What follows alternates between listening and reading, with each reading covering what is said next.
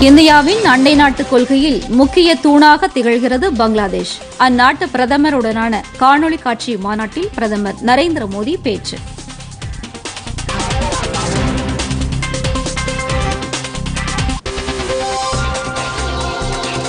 கோவையில் இன்று வேளாண் பல்கலைக்கழக பட்டமளிப்பு விழா. குடியரசு துணைத் தலைவர் வெங்கையா நாயுடு பங்கேற்பு.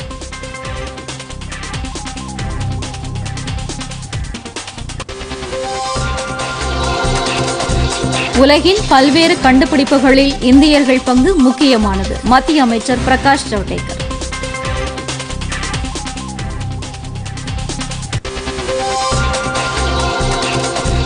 கொரோனா தடுப்பு மருந்தான கோவாக்சின் மருந்து சிறந்த நோய் எதிர்ப்பு சக்தியை அளிக்கிறது. முதல்கட்ட ஆய்வில் தகவல்.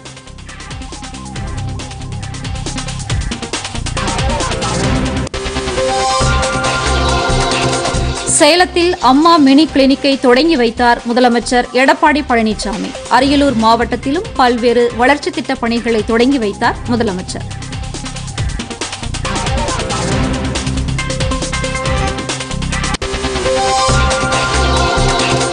ஆஸ்திரேலிய அணிக்கு எதிரான முதலாவது டெஸ்ட் கிரிக்கெட். முதல் இன்னிங்ஸில் இந்திய அணி நிதான ஆட்டம்.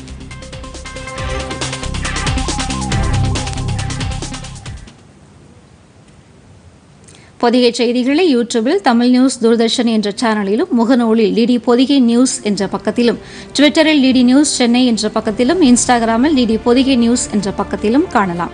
மேலும் உங்கள் கருத்துக்களை Podhigai DD news at Gmail dot com என்ற மின்னஞ்சலில் தெரிவிக்கலாம்.